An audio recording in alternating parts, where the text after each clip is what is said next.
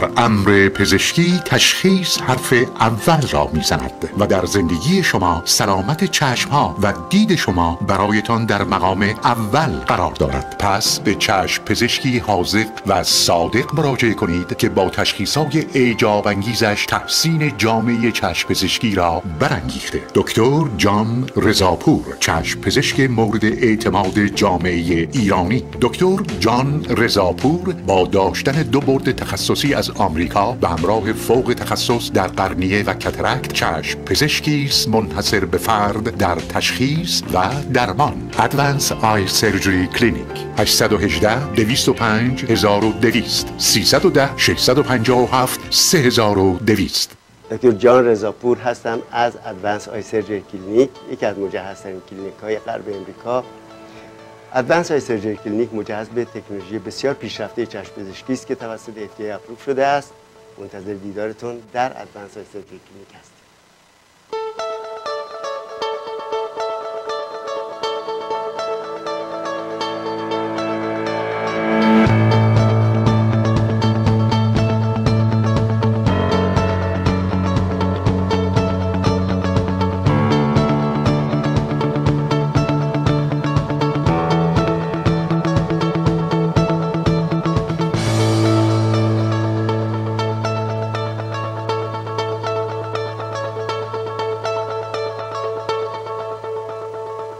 هستیم درود بسیار به شما بینندگان از عزیز و ارجمند برنامه های جهان چشم پزشکی. امیدوارم آن است که تندرست و سرحال باشید و فرصت داشته باشید تا با هم سیری در کهکشان علمانیشه داشته باشیم. فلک را سخت بشکافیم و طرحی نو اندازیم. این برنامه هر هفته روزهای شنبه ساعت دوازده تا یک بامداد تا که بعد از ظهر. به وقت لس آنجلس از شبکه جهانی تلویزیون پارس به شما از اون تقدیم میگردد. و من دکتر رضاپور جراح و متخصص بیماری های چشم. در این برنامه درباره بیماری ها جراحی چشم شما سخن می‌گویم. باز بخش برنامه فردا شب ساعت ده شب به وقت لس آنجلس و روز دوشنبه ساعت احتمالا 9 صبح به وقت ایران خواهد. خب طبق روال همیشگی برنامه صحبتی خواهیم داشت در مورد یکی از موزلات چشم پزشکی و در قسمت دوم برنامه. به سوالات شما عزیزان در حد به ذات برنامه پاسخ خواهم گفت. خب دوستان عزیز یادتون باشه که امروز ما از ساعت یک و نیم بعد از ظهر همیشه دو بود ولی امروز یک و نیم بعد از ظهر یعنی بلافاصله بعد از این برنامه برنامه رادیویی من شروع میشه. در آن برنامه که برنامه پرسش پاسخ هست ما فقط به سوالات دوستانی که زنگ می‌زنن جواب خواهیم داد و من سعی می‌کنم که صحبت اضافی نداشته باشم. فقط خواهشم اینه که تماس بگیرید سوالاتتون رو مطرح کنید تا سوالاتتون رو پاسخ بگویم نگذارید آخر برنامه که وقت تمام می شود و من, نمی‌توانم برنامه رو ادامه بدم در این برنامه هم اگر سوالی دارید مطرح کنید که سوالاتتون رو پاسخ بگویم. نکته بعدی که همونطور که قبلا هم عرض کردم آقای دکتر نصیری متخصص گلاکوما از دوهینی های اینستیتوت به ما پیوستن. روزهای پنجشنبه تشریف میارن. دوستانی که گلاکوما دارن و می‌خوان گلاکوماشون درمان شود می‌توانن وقت بگیرن با ایشون و بیاین و مورد معاینه قرار بگیرن. به خصوص اگر گلاکوما دارید وقتی زنگ می‌زنید بفرمایید که با دکتر نصیری می‌خواید وقت بگیرید تا ایشون ببینن شما. اما اجازه بفرمایید که امروز صحبتی داشته باشیم در مورد بلفارایدس. اون بسیار شایع هست و سخن رو ادامه بدهیم در این زمینه. ارز کردم اگر سوالاتی دارید سوالاتتون رو مطرح کنید. و اگر چنانچه فرصتی نشد که در این برنامه سوالات رو مطرح کنید می توانید ساعت یک کنیم در برنامه رادیو ایران 670 AM با ما تماس بگیرید. خب ببینیم که blepharitis چی هست. blepharitis در حقیقت آماس مزمن لبه پلکاست که این بیماری معمولا پوست پلک لبه پلک مژه ها ملتهمه و قدرت میبومیان قدرتی که در داخل پلک هستن. چون در هر پلک ما در حدود سی تا قده میبومیان قرار داره. که این قدرت روغنی ترشح می‌کنه یه روغن بیرنگی است به نام می، می، میبومیان یا میبومیس که باعث لوبریکیشن چشم و راحتی چشم می شود و وقتی که این روغن ها کلاک میشن توی این مجاری و دیگه اون روغن اصلی بیرون نمیآید شما دچار مشکلات زیادی از جمله خشکی چشم از جمله blepharitis ریزش مژه ها قرمزی لبه پلکا و گاهی اوقات حتی اشک‌ریزش میشن. خب شایع ترین یافته کلینیک blepharitis چی هستش؟ خارش پلکا سوزش پلکا احساس جسم خارجی گاهی اوقات اشک‌ریزش به خصوص جمع شدن شوره پای موجه ها آبکی شدن چشم و تغییر دید. گاهی اوقات دید خوبه گاهی اوقات دید بده. معمولا مریضا میگن دید ما خوب نیست مجبوریم چند بار پلک بزنیم تا دیدمون بهتر بشه. و قرمزی چشم و همطور که ارز کردم پفکردگی لبه پلکا ورم لبه پلکا و قرمزی لبه پلکا و گاه ریزش موجه ها هستش. در سال 2002 یک تحقیق بسیار جامعی انجام شد و حدود هزار تا بیمار رو که به یک مرکز مراجعه می‌کردن تحت بررسی قرار دادن و دیدن یک چیزی حدود 69 درصد این بیماران blepharitis داشتن. یعنی به این ترتیب معنیش این هستش که روزانه ما اگر فرضا سی تا مریض ببینیم یه چیزی حدود نزدیک 20 تاشون blepharitis دارن. پس بسیار بسیار شایع هستش. و جالبتر این که از این 69 درصد یک چیزی حدود 58 درصدشون دمودکس بلفایتیس داشتن که من بارها در مورد دمودکس صحبت کردم و الان بیشتر مفصل صحبت خواهیم کرد که دمودکس چی هست و خلاصه ذکر کنم که دمودکس یک آماس مزمن لبه پلکاست به علت وارد شدن یک حشره‌ی microscopy یک جانوره یک هشت‌پاس microscopic خیلی خیلی کوچکه. که این خودش رو میرسونه به پای مژه ها فرو میره در پای مژه ها از چربی پای مژه ها تغذیه می‌کنه و باعث میشه که به اصطلاح پوسته پوسته بشه ها بریزه لبه پلک پوسته پوسته بشه قرمز بشه ورم بشه ورم بکنه. میبومیان گلند ها بسته بشه درش و خشکی چشم و عوارض زیادی ایجاد بشه. یه تحقیق دیگه پس نشون میده که واقعا دمودکس یک بیماری بسیار شایع هستش. حتی این دمودکس می‌توانن روزشی ها ایجاد بکنه. دیدین کسانی که صورتشون قرمزه. روی پلکشون قرمزه نوک بینوشون قرمزه. وسط ابرو قرمز هست. این مناطق رو گرفتار می‌کنه. اینا بیشتر به خاطر همان به اصطلاح مایت دمودکس هستش. در سال 2007 تحقیق دیگری انجام گرفت و تا 2016 این تحقیق ادامه پیدا کرد.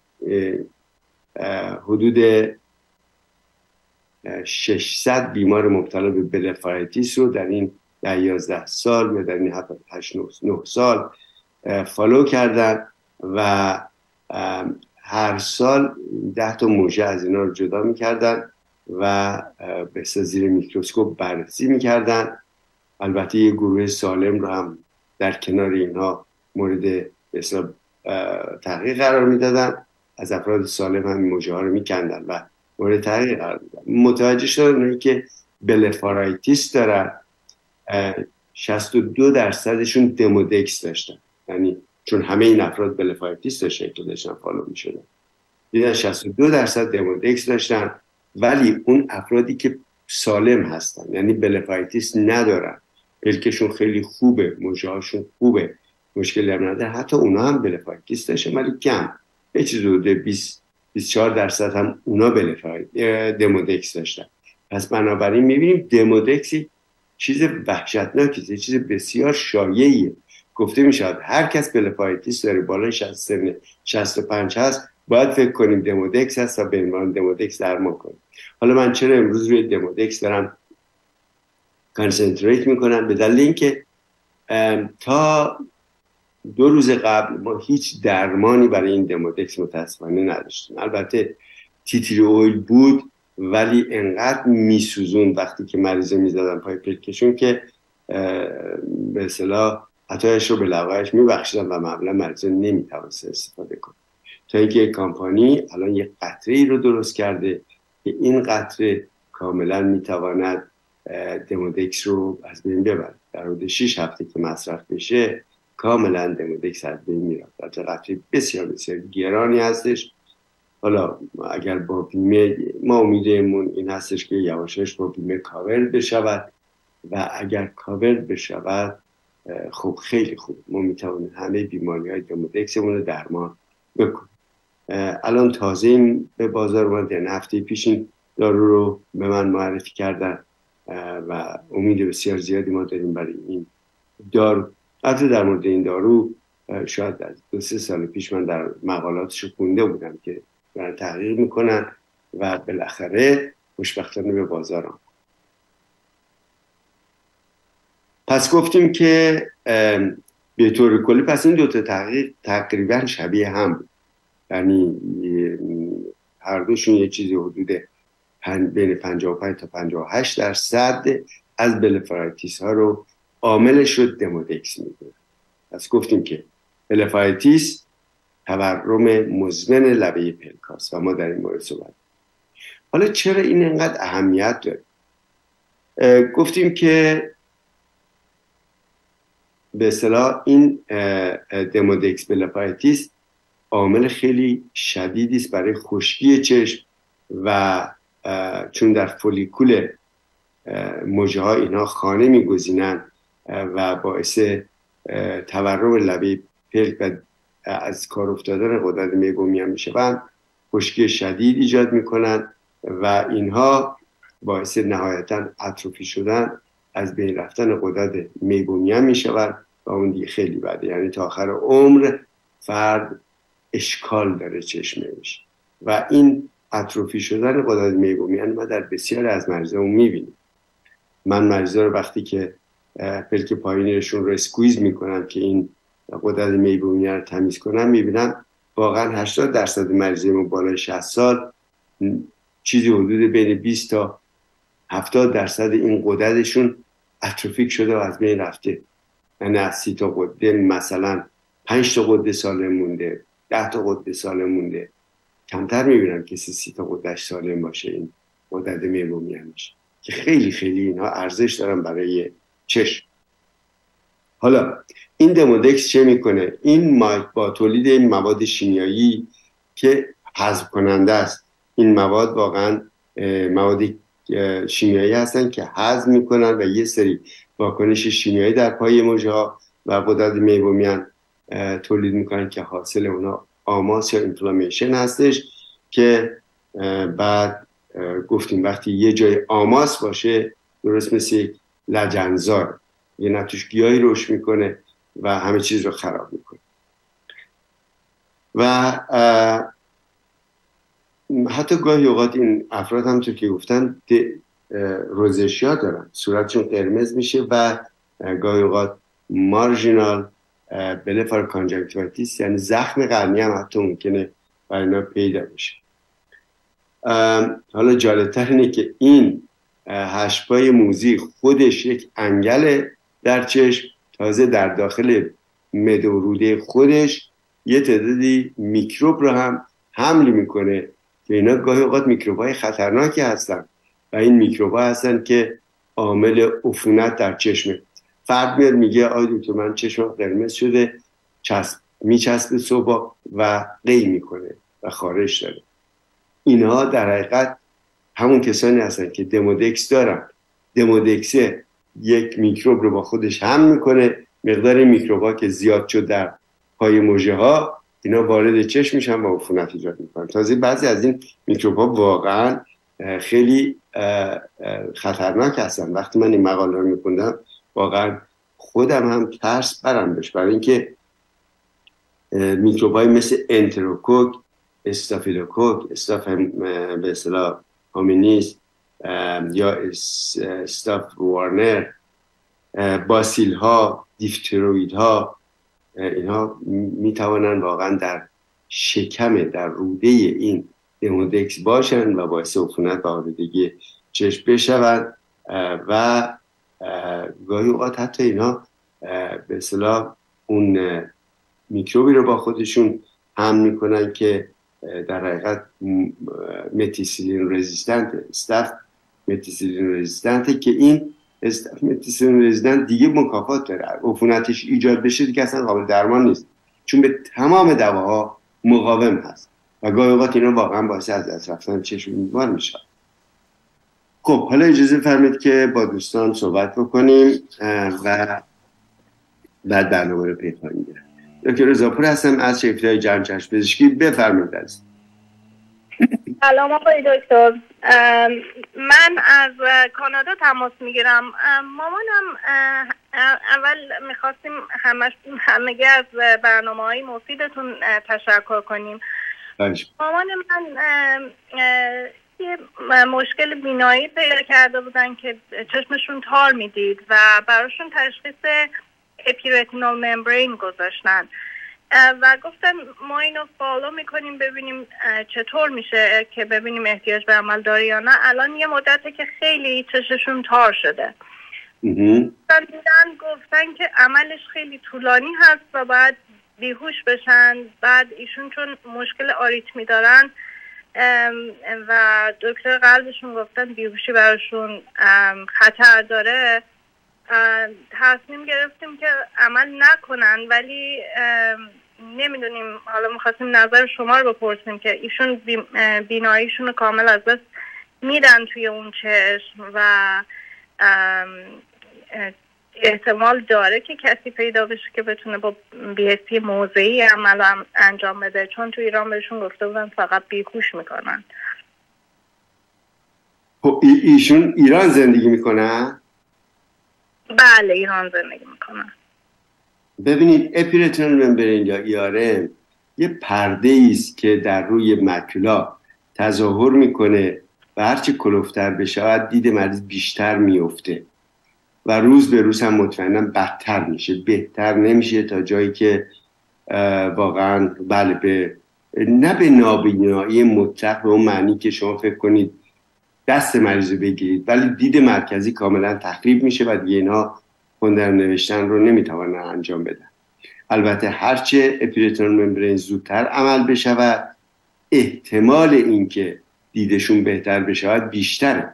هرچه این عمل به تعویق بیفتد مطمئنا حاصلش هم بدتر خواهد.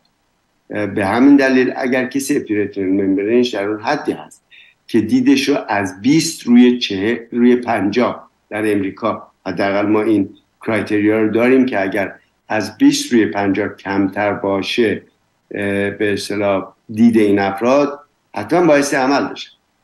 و عمل اینا نیازی هم به جنرال انستیزیا ابدا نداره. اینها رو میشه رترو بالبر انجکشن کرد. کاملا چش رو بیس می‌کنن و به اصطلاح عمل می‌کنن. و حتی با اریتمیا هم می‌شود عملشون کرد و هیچ مشکلی نخواهد بود. حالا نمی‌دونم چرا در اونجا بهشون گفتن که باعث بیهوش بشون ولی به هر حال اونچه که مسلم هست می‌شود حتی با local anesthesia یه آمپول می‌زنیم پشت چشش رو بی‌حس می‌کنیم و عمل رو انجام میدیم و به اصطلاح پرده رو برمیداریم بهش میگیم membrane peeling peel off ش می‌کنیم و معمولا اینا جواب گفتم بستگی داره که حدت و شدت این بیماری چقدر باشه طول ماندگاری بیماری چقدر باشه. چون هرچی بیشتر بماند سلول های مکولای زیرش بیشتر میمیرن. و وقتی بمیرن اونا نمیشه زندگی اینه که اگر قرار عمل بشه بگی زودتر براشون عمل کنن که نتیجه بگیرن. و اگر به, به اندازن و اصلا عمل نکنن خب طبیعی که دید مرکزیشون رو از بین خواهد رفت و دیدش دیده خوندن نوشتنشون رو از دست خواهند با سپاس از تلفنتون متشکرم. خیلی دکتر رضاپور هستم از شرفت های جان چشم بفرمید سلام استاد خسته نباشید و خیلی ممنون از برنامه خوبتون. سوال من این استش که در مورد جراحی برای افرادی که یک چشم جراحی کترک برای افرادی که یک چشم امبلیوپی دارند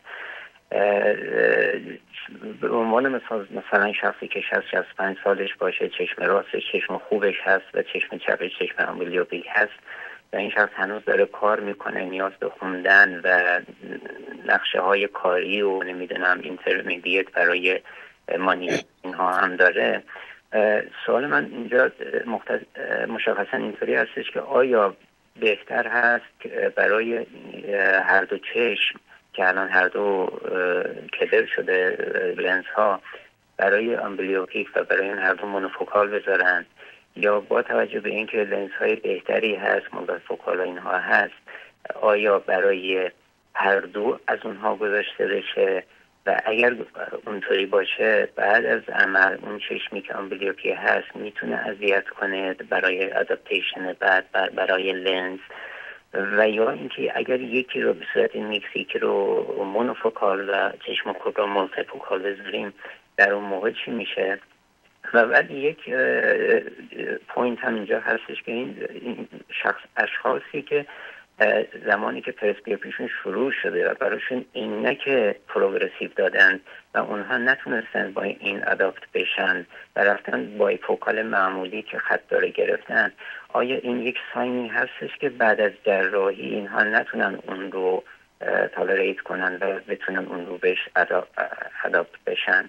ممنون میشم اگر این رو محبت بفرمایید یک سوال دیگه دارم و اون هر موقع امروز یا هر زمان دیگر بود لطف کنید. اگر میشه به صورت آموزش به ما آموزش بدید که شما یک استاد بسیار گرانقدر هستید ما از شما استفاده کنیم. سوال دومتون چیه؟ سوال دوم این هستش که این چارت امسلر چارت که برای تشخیص زودرس شاید حالا به موقع مثلا دیجنریشن هست آیا خوب هست که ما خونه هامون اونو داشته باشیم؟ اگر داشته باشیم چطوری ازش استفاده کنیم؟ هر زمان بسیار, بسیار سوالای بسیار بسیار خوبی هستش. اجازه من اول بگم. ببینید خواهش می‌کنم. توجه بفرمایید. قانون کلی این هستش که ما همیشه بایستی فکر کنیم بهترین دید دور رو به مریض بدهیم.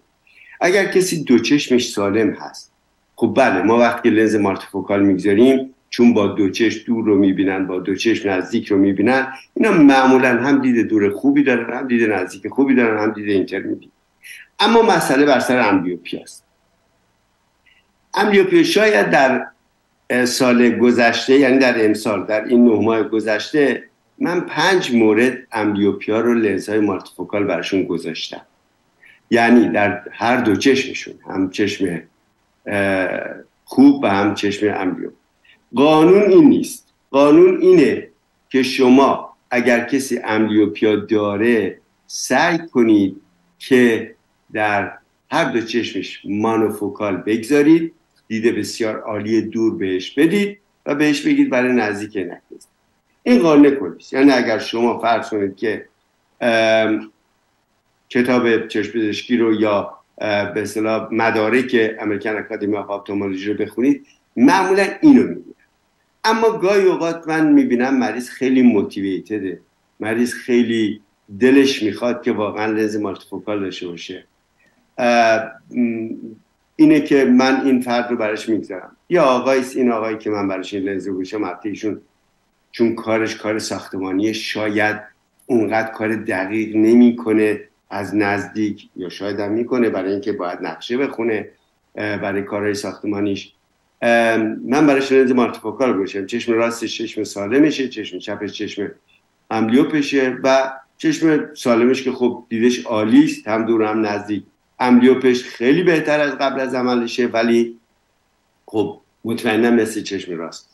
اگر از من سوال بکنید که نظرت واقعا چی هست نظر من اینه که من مریض رو می‌بینم باهاش مصاحبه می‌کنم ببینم چقدر موتیویتده چقدر بله من برای یه مهندس هرگز این کار رو نمی‌کنم. چون مهندسه انقدر متیکولس هستن که مطب خشخاش می‌گذارن و به هر حال هم خودشون آزار می‌بینن هم پزشکشون رو آزار میدن. ولی اوورال بستگی داره. یعنی من فرد رو می‌بینم مصاحبه می‌کنم وضعیت روانیش رو بررسی می‌کنم و این کار رو می‌کنم. همونطور که ارز کردم من پنج مورد در سال گذشته گذاشتم هر پنج موردشون راضی و خوشحال هستن. هیچ کنشون به اصطلاح اشکالی نداره ولی کلاسیک اینه که اینا رو ما مانفوکال در هر دو چشمشون بگذاریم و برای خوندن بگیم عینک این این جواب این سوال هستش. پس من دکتر رضاپور اگر مراجعه بکنه احتمال اینکه مالتیفوکال در هر دو چشمتون بگذاره هست. یا اینکه ممکنه در چشم راست فقط مالتیفوکال بگذاریم در چشم amblyope monofocal بستگی داره. بعضی از amblyopia هستن خیلی به اصطلاح deep هستن. خب اون amblyopia ها رو من monofocal می‌گذارم. ولی amblyopia هست من می‌بینم که با گذاشتن لنز 24 دید پیدا می‌کنه. خب براش multifocal می‌گذارم. چون 24 دید پیدا کردن پس نزدیکشون خیلی بهتر میشه. اینه که در این صورت یک تحلیل همه جانبه روی این چشم انجام میدم و براشون لنز رو می‌گذارم. اما اینکه این فرد progressive نتونسته تحمل کنه bifocal می‌زنه اصلا هیچ رابطه ای هیچ رابطه ای به هیچ عنوان بین لنز های عینک یعنی عینک progressive و این لنز های multifocal و trifocal نیست هیچ رابطه ای نیست. شما وقتی لنز trifocal یا multifocal تو چشمتون هست همون احساس 18 سالگی رو دارید. یعنی یه آدم 18 ساله این نیست که برای دید نزدیک سرشو بیاره پایین برای دید دور سرشو ببره بالا. نه. یک آدم 18 ساله نزدیک رو قشنگ می‌بینه دور هم دور رو می‌بینه نزدیک رو می‌بینه بدون اینکه خودش احساس بکنه. در مورد لنزهای multifocal هم ساختمانشون جوری هستش که به اون حالت شبیه تره تا به حالت عینک. یعنی فرد متوجه نیست که حتما باید سرشو پایین بالا بکنه. نه اینطوری نیست. یعنی روی لنز نصف بالاش مال دور نیست نصف پایینش. ساختمان لنز جوری ساخته شده که هم می‌تونه دور رو در همون زمان ببینه هم نزدیک رو بدون اینکه بخواد position ی به سرش بده یا اینکه تغییری در به اصطلاح axis دیدش بده. بنابراین اگر کسی نمی‌توانسته progressive بزنه و bifocal می‌زنه این لنز ها هیچ اشکالی نداره در چشمش بگذاریم. مطمئنا هیچ مشکلی از اون نظر نخواهد داشت. این هم جواب این سوال. اما در مورد Amsler grid. این chart Amsler Amsler grid در حقیقت یک درست یک صفحه شطرنج هست که در وسط این صفحه شطرنج نقطه سیاه هست. و این برای برآورد این هستش که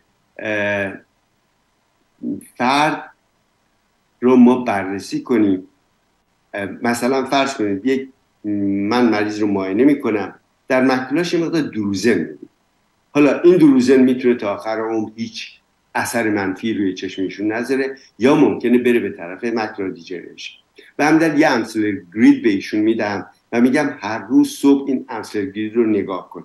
اگر به اون نقطه سیاه یک چشم تو میبندی با عینک مطالعه اگر عینک می‌زنید برای مطالعه.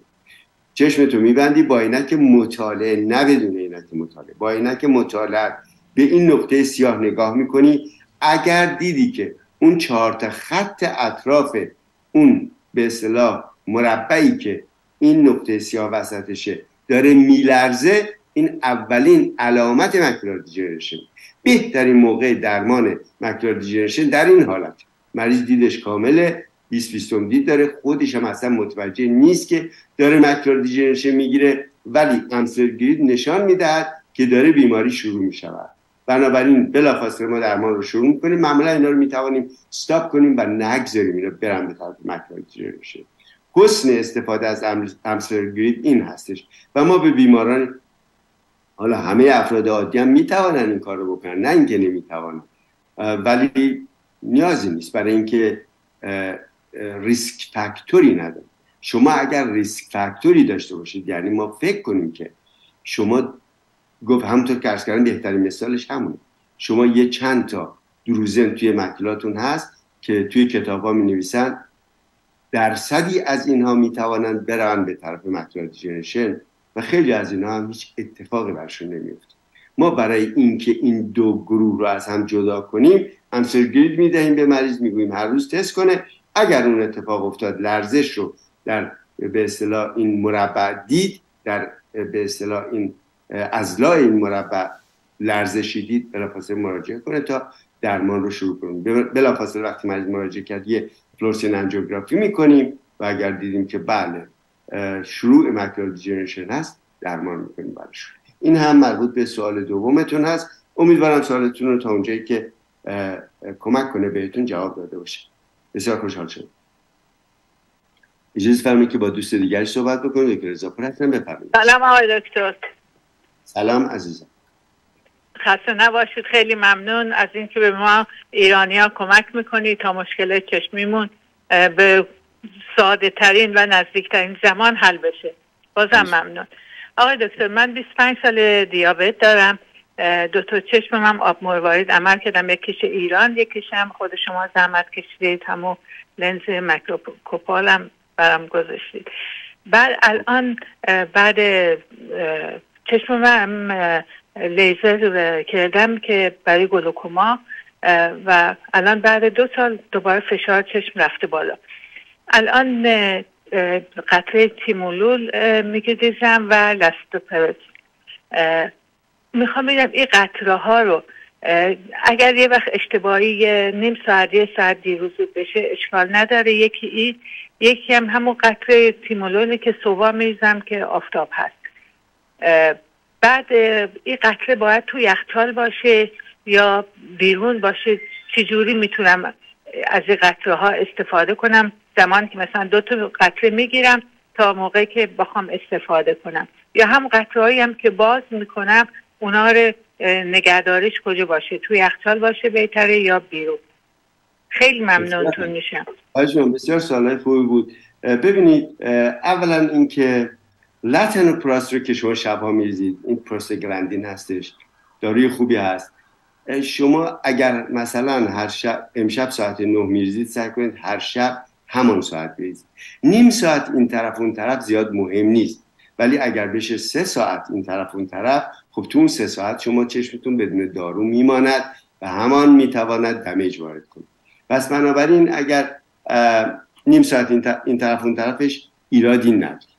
در مورد قطرهایی که روزی دو بار میریزید. اگر قطرهایی که روزی دو بار میریزید حتما باسی دوازده ساعت فاصله باشه. مثلا هشت صبح بریزید و هشت شب. مثلا فرض شما دارید تیمولور میریزید. تیمولور رو باید دو بار بریزید. اولا همطور که خودتون اشاره ای کردید تیمولور حتما بایستی بعد از طلوع آفتاب ریخته بشه. حتما بایستی آفتاب وجود داشته باشه تا تیمولول گیرنده های تیمولول در چشم آدم ها کار بکنن. بنابراین کسانی که تیمولول مصرف می‌کنن یادشون باشه که در تاریک شب بریزن هیچ تاثیری نداره در صبح زود قبل از طلوع آفتاب بریزن هیچ تاثیری نداره پس سعی کنید آفتاب طلوع بکنه یه قطره میریزید قبل از غروب آفتاب هم یه قطره. این در مورد تیمولول یا آقا دکتر من اشک مصنوعی چشمام خیلی خشکه. تیم تیم میریزم رتین میریزم. خوبه؟ بله ریتین بسیار قطعی خوبی است. قطعی هم رتین هم دارم. کدومش بهتره؟ ریتین بهترین قطعه خشکی به نظر من. یا فرشون اگر ریتین دسترسی ندارید هر قطعه خشکی کسانی که گلاکوما دارن استفاده می‌کنن حتما بایستی که preservative نداشته باشه. از این کوچولوهاست که سرشو باز می‌کنید. preservative نداشته باشه. چون preservative خیلی برای کسانی که به خصوص گلاکوما یا خشکی شدید دارن خیلی اذیت می‌کنه. پس non-preserve استفاده می‌کنید. حالا پس این حالا این در مورد ریختن قطره آیا قطره در یخچال نگه داریم ببینید هیچ کدوم از قطره به جز Xalatan به جز زلطن که کارخونه توصیه می‌کنه توی یخچال نگه دارید هیچ کدوم از این داروها لازم نیست توی یخچال باشه. اما یه نکته ظریف اینجا وجود داره. که من همیشه به بیماران توصیه می‌کنم. اگر شما هر کدام از قطرهای چشمی رو که دارید استفاده می‌کنید توی یخچال بگذارید سرد باشه اثرش 20 درصد بیشتر از وقتی است که بیرون نگه میده به خاطر این نه اینکه بیرون خراب بشه نه. اثر قطره سرد قطره خیلی یخ اثرش خیلی بیشتر از قطره است که بیرون هستش.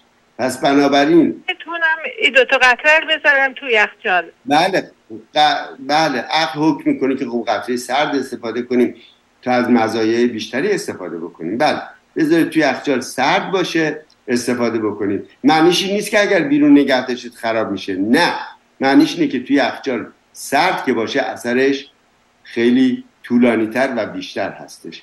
این هم این مورد. حالا اگر شما قطعه اشک مصنوعی استفاده می‌کنید فاصلش رو با این قطره ها یا قبل از این قطره بریزی مثلا صبح. اول قطره اشک مصنوعی رو بریزید تیمولو رو یا اگر تیمولو رو ریختید نیم ساعت بعد قطره اشک مصنوعی رو بریزید. اجازه بدید اون جذب بشه کامل بعد قطره خشکی رو بریزید. آقای دکتر من قبلا پیش خدمت شما میمدم الان شهرمون چون دور بوده دکتر دیگه اینجا که شما هم رو شناخت دارید تاییدش می‌کنید. دکتر دکتر پژمان بختیاری. بله بله. بعد ایشون قطره تیمولول که به من داده گفته صبح بریز اسم اصل اینا نیورده. من چیکار باید بکنم؟ شما از... دستور می‌دید. تیمولول اثرش بیشتر از دوازده ساعت نیست. یعنی شما وقتی صبح بریزید اصر دیگه اثری نداره. اگر با یک بار تیمولول صبح و با یک بار لتنوپراست شب. شما فشار چشمتون کنترل اشکالی نداره. اشکالی نداره. چون من شیش ماهه به وقت دادن هنوز موقعش نشده برم چه کنم. ولی بعضی موقعات قسمت شقیقم چشمم درد می‌گیره. احساس درد توش می‌کنم فشار داخلش می‌کنم. من به بیمارانم توصیه می‌کنم timolol رو دو بار بریزم. یک بار صبح بعد از طلوع آفتاب یک بار از قبل از غروب آفتاب که یک coverage 24 ساعته به چشم خیلی هم ممنون دستتون درد نکنه. سپاس از تلفنتون عزیزم. خدا نگهدار. خدا نگهدار. اجازه فرمایید که با دوست عزیز دیگر صحبت بکنیم. دکتر رضاپور هستم. بفرمایید سلام جناب دکتر. خوشحالم با شما صحبت می‌کنم. من از میشیگان صحبت می‌کنم. هفتاد و هفت سالمه. مشکلی بله. داشتم که قبلا با جنوالی در میون گذاشتم که من چشم چپم بعضی مواقع مثل پرده میاد روش کدر مثل که مثلا فرض فرمایید آب چشم قلیز شده یا مثلا بله. چرکین باشه اومده روی چشم میگیر چهار پرک می‌زنم یا میمالمش صاف میشه کلیر میشه مشکلی نداره خدمت شما عرض کردم فرمودین که چیز شلی پرده چشم رو گفتین معدد به من توصیه کردیم برو دکتر رو دیاگنوز کنه. اومدم رفتم پیش دکتر. دکتر هم در از اساتید چشم پزشکی دانشگاه University of Michigan ه. و ایشون معاینه کرده اینا بعد به من eye compress mask داد که شب تو مایکروویو داغ کنم ده دقیقه بذارم روی چشمم. این گفت این اشکال از اونجاش نمی‌دونم چیزای روغنی اون بالا چه شده افتاد توضیحاتی داد که من میانتون در. بله. الان این کاری کردم منتها به آدم مثلا روانیت فکر می‌کنه دوایر می‌خوره خوب میشه. به نظرم کمتر شده اون موقع مثلا در روز چهار بار پنج بار مثلا در یه موقع خیلی حاد در حال رانندگی بودم یه دفعه چشم تار می‌شد. اصلا پرکم میزادم نمی‌شد آدم اون لحظه عینکم رو چشمشه بخواد بمالم نمی‌شد مشکل داشتم. الان تعداد اونها به نظرم کمتر شده ولی نرفته. آیا واقعا این مشکل با این برطرف میشه؟ این بیماری نیست که بتونه معالجه بشه؟ سوالم بیماری نیست. همونطور که چه راهنمایی می‌کنه قربان؟ خواهش می‌کنم. همونطور که دکترتون گفتن بیماری مهمی نیست. همونطور که دکترتون گفتن این بیشتر می‌تونه همون آماس قدرت میبومیس باشه که با کمپرس ماساژ مالیدن erythromycin شبها بعد از تمیز کردن تمیز کنید شبها حتما با OCuSOFT. OCuSOFT یه پد مخصوص چشمی است که نوع اوریجیناله. چون ده نوع OCuSOFT تو market هست. نوع original. OCuSOFT original رو اگر بگیرید و باهاش تمیز کنید چشمتون رو مطمئنا خیلی کمکتون می‌کنه. این یک مسئله است. مسئله دیگه این که گاهی اوقات یک رشته هایی در داخل زجاجیه هست که این در داخل زجاجیه شناوره. گاهی اوقات با حرکت چشم این طرف اون طرف میره. اونم گاهی اوقات می‌تواند جلوی چشتون بیاد. ولی اون چیزی که شما دارید اون نیست. اون دقیقا چیزی که روی قرنیتونه. یعنی یه ترشحاتی است که میاد روی قرنیت.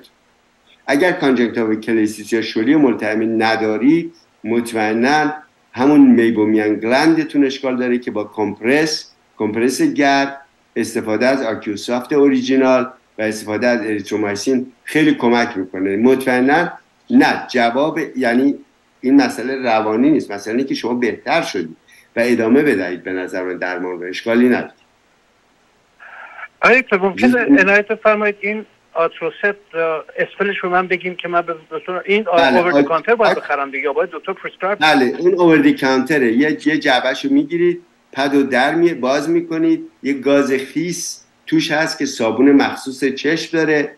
چشمتون رو میبندید و خوب lid scrub می‌کنید باش این اسمش هست OCu O C U S O F T OCuSOFT soft یعنی نرم. S U H O S O soft soft یعنی نرم به انگلیسی. S O F T. okay بله. OCuSOFT OCuSOFT نوع اوریجینال حتما اوریجینال شو باید بگید چش چش. بله. اینو استفاده بکنید خیلی کمک می‌کنه برای افرادی مثل شما. من نگران نباشم نه؟ نه چیز مهمی نمی‌تونه باشه. خیلی ممنونم. قربون شما. خب اجازه فرمایید که با دوست عزیز دیگر صحبت بکنیم. دکتر رضاپور هستم. بفرمایید. الو. الو. الو سلام آقای دکتر. سلام. الو سلام آقای دکتر گرامی. با سپاس از اشعار زیبا و دلنشینتون و طبع لطیفتون.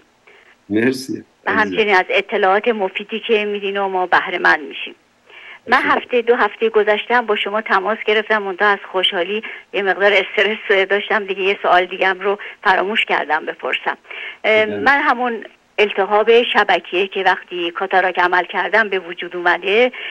حالا سه ماه الان ماه سومه که دارم سینا رو راکو میریزم هیچ تاثیری نکرده. بعد حالا خواستم ببینم که دکتری هم چیزی گفت گفت باید تزریق کنم اگر دیدم ادامه داره. مثلا از نزدیک آقای دکتر بهتر می‌بینم صورت ها رو ولی از دور حالت ابری تاری مقدار می‌بینم. حالا از از دکترم هم که پرسیدم آخه این مشکل برای چی به من به وجود اومده؟ گفت از هفت تا هشت تا مریض یکی اینجوری میشن. چون تایی چشمم هم سالم بوده. دیابت هم ندارم فشارم. فشار چشمم نداشتم فشارم نداشتم. و خیلی ناراحتم از اینکه به وجود اومده برام. حالا خواستم که شما راهنمایی بفرمایید. اگر چشم دیگه راستم و خواستم عمل کنم آیا باز با همین مشکل مواجه میشم؟ چیکار باید بکنم؟ بعدم رفتم من در یکی از استانهای ایران هستم. بعد رفتم مرکز تخصصی نور.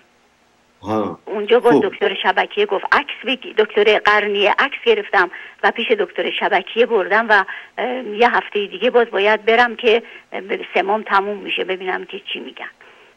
ببینید اولا که اگر سه بله. اگر سه ماه درمان طبی باعث از بین رفتن ورم نشود حتما باعثی تزریق بشود در داخل چشمتون. این درست. تزریق رو هم متخصص شبکیه بایستی انجام بدهد. اون بحث دیگری است. اما در مورد چشم دیگرتون. اگر من باشم چون احتمال بروز CME اگر در یه چشم اتفاق افتاده احتمال بروزش در چشم دیگر هم هست. به همین دلیل یعنی چانسش هست. نه اینکه صد درصد احتمالش هست. توصیه که من به شما می‌کنم یعنی به چشم پزشکتون می‌کنم اینه که از دو هفته قبل درست دو هفته قبل شما رو بگذارن روی داروی کورتون قطره کورتون و قطره انسید قطره کورتون و قطره انسید رو دو هفته مصرف بکنید بعد تو قرص انسید رو هم بخورید. قرص به قرص ضد آماس هست. ضد ضد اینفلامیشن هستش. قرص رو از دو هفته پیش بخورید قطره رو بریزید و اگر با لیزر بتوانند چشمتون عمل بکنن خب چون خیلی طول مدت عمل کاهش پیدا می‌کنه اینها همه می‌تواند کمک کند که عوارض شما کم بشه. مطمئنم که در ایران هم لیزر هست و با لیزر مرکز نور احتمالا شاید داشته باشد. اگر با لیزر عمل بکنن احتمال اینکه این عوارض رو بتونیم کم بکنیم خیلی زیاد هستش این توصیه رو حتما بایستی بکنیم قبل از عمل برای بعد آقای دکتر یک بار باید تزریق کنم یا باید ادامه پیدا کنه؟ بستگی داره. تزریق می‌کنن ببینن که ورم از بین رفت یا نه. اگر مطمئنا کمتر از سه دفعه نیست باید سه بار تزریق بشه. بله من اگر... کردم ولی فکر می‌کنم با لیزرم عمل کردن به وجود اومده چون در یکی از بیمارستان های مشهد عمل کردم. با لیزر چون خب عرض کردم که علاوه بر اینکه با لیزر عمل کنن قطره و قرص امسید رو و قطره و قرص امسید رو هم باید استفاده بکنن. از دو هفته قبل از هم حالا عذر می‌خوام آقای دکتر شما براتون امکان هست. دکتری رو در تهران به من معرفی بفرمایید می‌تونم یا به مطبتون زنگ بزنم سوال کنم. نه دکتر دکتر کریمیان زنگ بزن. بیمارستان لبافی نژاد دکتر کریمیان مثلا فرید کریمیان. دکتر فرید کریمیان خیلی مورد اعتماد منم تو ایران. می‌تونین بهشون مراجعه شبکه هستن آقای دکتر؟ نه ایشون متخصص کدرک برای عمل کدرکتون میگم. آره. برای شبکه متخصص شبکه در به اصطلاح تهران دکتر احمدیه رو حمید احمدیه رو توصیه می‌کنم. ممنونم آقای دکتر. از راهنماییتون تشکر می‌کنم. بلا که همیشه سلامت باشین خانواده و عزیزانتون. خیلی ممنون. خدا نگهدار. خدا نگهدار. خدا خب دوستان عزیز ارز کردم که امروز ما ساعت یک و نیم بعد از ظهر برنامه پرسش و پاسخ داریم از رادیو. یادتون باشه که اگر چنانچه اینجا سوالاتتون رو نتونستی مطرح کنید حتما به برنامه رادیو زنگ بزنید و و سوالاتتون رو مطرح کنید تا بتوانم سوالاتتون رو پاسخ بگویم.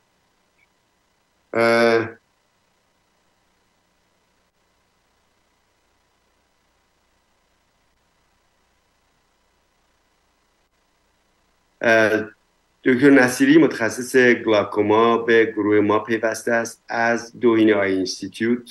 کسانی که گلاکوما دارن بهشون مراجعه بکنن زنگ بزنن به Advanced Eye Surgery Clinic برای ایشون وقت بگیرن و مراجعه کنن برای درمان گلاکوما. ایشون یکی از اساتید دوینی هستن و دوینی های اینستیتوت هستن که می‌دونید یکی از بزرگترین مراکز چشم پزشکی امریکاست. هم همونطور که ارز کردم ساعت یک و نیم بعد از او یعنی درست بعد از این برنامه ما برنامه رادیو رو داریم رادیو ایران رو داریم که می توانید زنگ بزنید اونجا و اگر سوالی داری مطرح کنید تا سوالاتتون رو در اونجا پاسخ بگویم اون برنامه فقط پرسش و پاسخه بنابراین من سعی می‌کنم صحبتی نکنم و فقط به سوالات شما پاسخ بگویم. شماره تلفن رادیو رو یادداشت بفرمایید. 323 512 72 64 323 512 72 64 این شماره تلفن رادیوس ساعت یک کنیم سعی کنید تلفن کنید سوالاتتون رو مطرح خب یک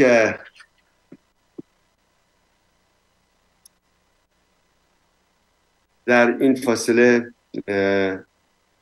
ادامه مسئله blepharitis رو می‌خوام خدمتون تقدیم کنم گفتیم که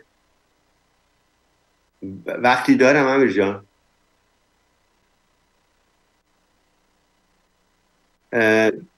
بله. بله بله. چشم حتما باید همیشه به مسئله blepharitis توجه داشته باشن. برای اینکه خب blepharitis گفتیم می‌تواند عامل بسیاری از بیماری ها باشد. یک نکته که بسیار بسیار مهم است. قبل از عمل cataract و یا هر عملی عمل گلاکوما و به خصوص عمل cataract حتما بایستی که blepharitis و خشکی بیماران حتما درمان بشه به همین دلیل شما اگر به مراکز Eye Surgery Clinic مراکز چشم که ما مراجعه می‌کنیم. می‌بینید که ما قبل از عمل کدرک شما رو حداقل به مدت دو یا سه یا گاهی چهار هفته می‌گذاریم تحت درمان شدید و به اصطلاح فشرده خشکی چشم. بنابراین به مدت دو تا سه هفته گاهی اوقات چهار هفته شما رو تحت درمان قرار میدیم و بعد از اون لنزتون اندازه گیری می‌کنیم. و آمادهتون می‌کنیم برای عمل جراحی کدرکتتون خب اجازه فرمایید به یکی از دوستان به سوالشون پاسخ بگویم. دکتر رضاپور هستم بفرمایید از.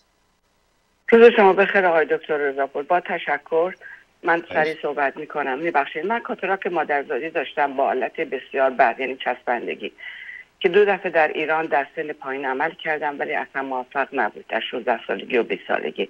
اومدم آمریکا در سال 2000 عمل بسیار موفقیت آمیز بود و در اون زمان دکتر من لنز دست چپم و جای اصلی گذاشت و لنز دست راست رو یه مقدار عقبتر گذاشت. دلیلش رو نمی‌دونم چی بود. ولی 20 سال من اصلا مشکل نداشتم به هیچ وجه. بعد از 20 سال در سال 2020 یه روز چشمم خیلی درد گرفت چرک کرد و دیدم از بین رفت. فقط نور می‌دیدم با درد بسیار و برم رفتم دکتر که گفتن احتیاج به پیوند قرنیه دارم. و گلوکومام که در از این دو سال من گفته بودن که مایلت هست باید عمل بشه. دکتر قرنیه پیوند زد بعد از بایپسی و همه چی. ولی دکتر گلوکومام هم عمل کرد و دکتر پیوندم لنز منو جابجا کرد و عوض کرد. از عقب آورد جلو گذاشت. این دو سال دکتر جان یک روز نیست که من ناراحتی نداشته باشم. latanoprost می... چیز میریزم. prednisolone میریزم برای قطرم و brimonidine و dorzolamide و Rhopressa و latanoprost هم میریزم برای گلوکوما. به من مرتب آنتی‌بیوتیک میزن که آخرین دفعش polymyxin بوده که من دارم میریزم. ولی یک روز نیست که من راحت نباشم. اصلا منو کشته این درد کمپرس آب گرمم می‌کنم. نمی‌دونم دلیلش چیه. یعنی شما چشم راستتون که مشکل نداره. بله راست فعلا چپ چپ مشکل ندارم فعلا. مایز خیلی کم میگن گلوکوما هست. نه این چشمی که پیوند شد کدوم چشمتونه؟ چشم راستمه. چشم راست. پس چشم چپتون خوبه. مشکلی نداره. مشکل چی؟ نه من میگم شما با این همه مشکل و دردی که دارید در چشم راستتون. بله همه راسته. چشمم فعلا گفتن mild glaucoma س ولی مسئله ای ندارم فعلا. فقط latanoprost شبا میره. ببینید اون که شما گفتید لنزتون رو عقب گذاشتن نه برعکس. لنزتون رو در چشم راستتون جلو گذاشته بودن. و چون گذاشته بودن روی iris نتونستن بذارن عقب. در نتیجه به اصطلاح chafing داشته یعنی تماس داشته با قرنیتون. و قرنیتون دیکامپنسیت شده قرنیتون به اصطلاح اون ساختمان طبیعیش رو از دست داده و مجبور شدن پیوند بکنن. خب طبعا کار درستی که دکتر پیوند قرنی کرده اینه که لنزتون رو برده سر جاش گذاشته گذاشته عقب. اون کار درست ولی برای همچین چشمی بهتره که به جای ریختن این همه قطره برای فشار براتون شانت بگذارم. اگر یک شانت براتون میگذاشتن مثلا شانت مخصوصی هستش که می‌گذاریم که فشار داخل چشم رو خیلی خیلی پایین بیاره اگر این کار رو براتون می‌کردن خب نیازی نبود. یه چشمی که قر... یک قرنیه پیوندی داره طبعا ریختن این همه دوار نمی‌تونه تحمل بکنه. و داروی زیادی شما دارید. دارید سه چهار تا داروی ضد گلاکوما می‌دید همه این داروها عوارض داره. همه این داروها پرزرواتیو داره. اینها قرنیه رو آزار میدن و مشکل به نظر من بهترین کاری که براتون می‌کنن اینه که یه شانت براتون بگذارن. گذاشتن شانت باعث میشه که فشار چشتون کنترل بشه و دارویی لازم نباشه بریزید. و بعد بله. داروهای برای خشکی چشم می‌تونم حتما بایستی نان پرزرو باشه. پرزرواتیو نداشته باشه. چون اگر پرزرواتیو داشته باشه اون پرزرواتیو خیلی آزارنده است. اینا رو اگر رعایت کنید ولی تا زمانی که دارید این قطعه رو بعدم قطعهایی که دارید استفاده می‌کنید یکی دو تاشون هستن که می‌شود قطرهای ضد گلاکوما رو نوع non-preserved استفاده کرد. البته شاید authorization بخواد دکترتون یا داروسازتون authorization بفرستن. و براتون داروهای به اصطلاح non-preserved استفاده بکنید. ظاهرا برنامه ما در اینجا به پایان رسید. امیدوارم که بتوانیم هفته آینده با همه شما صحبت بکنیم. با سپاس از دوستانی که با ما همراه بودن و با پوزش از دوستانی که روی خطا موندن. ولی نوید می‌دهم که ساعت یک و نیم بعد از ظهر در برنامه رادیو همه سوالاتتون رو پاسخ بدم. برای همه شما روزهای آفتابی شبهای محتابی آرزو می‌کنم با سپاس از کارگردان فنی امیر عزیز که مثل همیشه ما رو داهیانه و اندیشمندانه ما رو کارگردانی کردن. برای شما تندرستی برای مردم ایران آزادی برای جمهوری اسلامی زبالدان تاریخ آرزو می‌کنم. بدرود تا درودی.